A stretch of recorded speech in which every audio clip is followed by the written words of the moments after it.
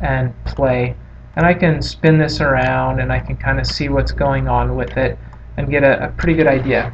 So there's some pretty cool things you can do with constraints. You can, you know, you use just regular constraints to do the mate, mate, angle, insert type of constraints. Tangent can be very helpful. Um, and then, you know, if you're using something like adaptivity, you can do some pretty intriguing things.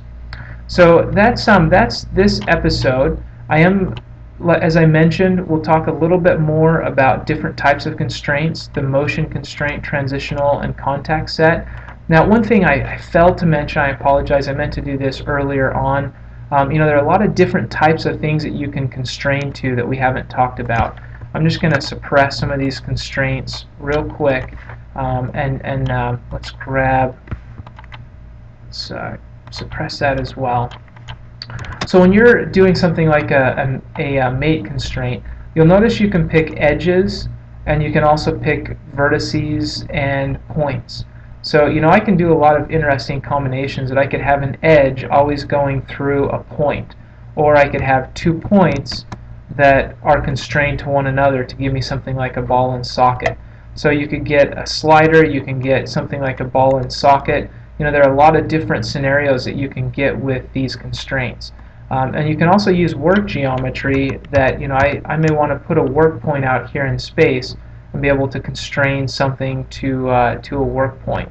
You know, I can come in and say, you know, I have a vertex here and I can just cycle through and get a vertex and be able to constrain it to a point or, uh, you know, some work geometry.